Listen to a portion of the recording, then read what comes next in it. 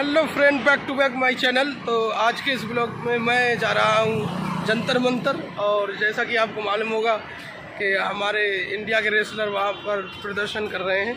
तो मैं चल के आपको दिखाता हूँ वहाँ का व्यू तो बने रहिए वीडियो के अंत तक। तो वीडियो को शुरुआत करते हैं। चलते हैं जंतर मंतर की तरफ़।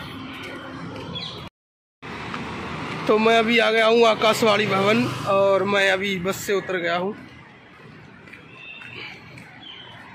तो इधर ही है जंतर मंतर तो चलते हैं। तो ये है फ्रेंड सरदार वल्लभ भाई पटेल का स्टेचू इसको पटेल चौक बोलते हैं।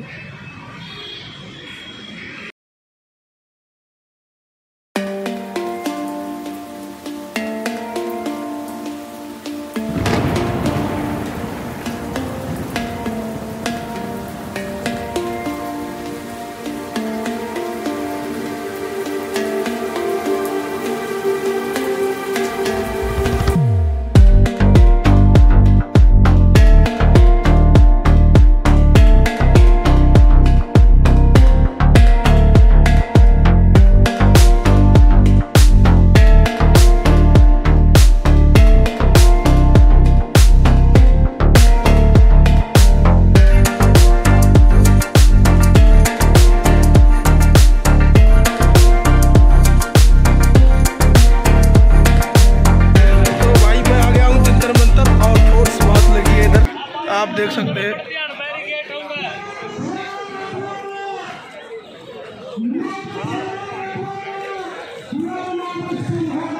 बात नहीं करता है, हमारा नेता बता देंगे बेटियों के सम्मान की बात है।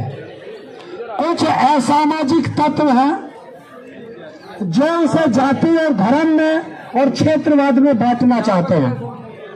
मैं उनसे पूछना चाहता हूँ कि जिस दिन विदेश से हमारी ये बेटियाँ मेडल लेकर के आई थी, अरे, कि जब मेडल लिया था, और उस समय इनके हाथ में उस जाति का, उस धर्म का, उस क्षेत्र का, उस गाँव का, या उस अखाड़े का झंडा था, या भारत का झंडा था, ये उनके लिए पे तमाचा है।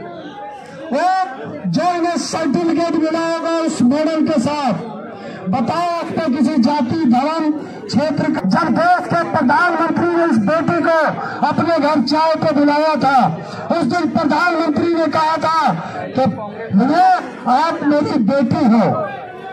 और मैं कहना चाहता हूँ कि अगर बेटी का बाप बना था तो उस आज पंद्रह दिन से वो बेटी तेरे घर के नीचे बैठ के न्याय मांग रही है।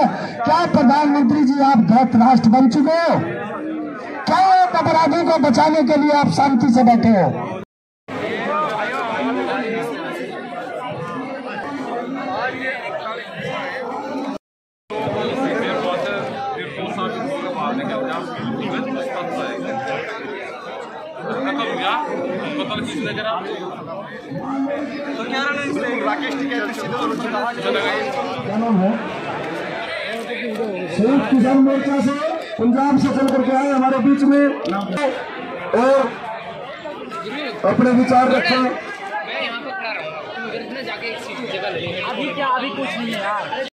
पूरा देश आपके साथ खड़ा है। वो तानाशाह सरकार झुकी थी और वो तानाशाह सरकार झुकेगी ब्रजभूषण जेल जाएगा और हम सबको इंसाफ मिलेगा। हमारे आने वाली पीढ़ी को इंसाफ मिलेगा। बहुत बहुत धन्यवाद। से वादा करता हूँ। सबसे पहले तो वादा ये है कि हमारा जो गैर राजनीतिक संयुक्त मोर्चा, जिसमें मैं बलदेव सिंह सिरसा, जगदीश सिंह बलराम अभिमन्यु कोहान और सुरजीत सिंह कोसा आज जितने भी हमारे गैर राजनीतिक एस के एम के मेंबर हैं, सबसे हम वादा करते हैं कि इन लड़की, ये लड़कियाँ ये हरियाणा हम ठीक ढंग से इनके साथ हैं।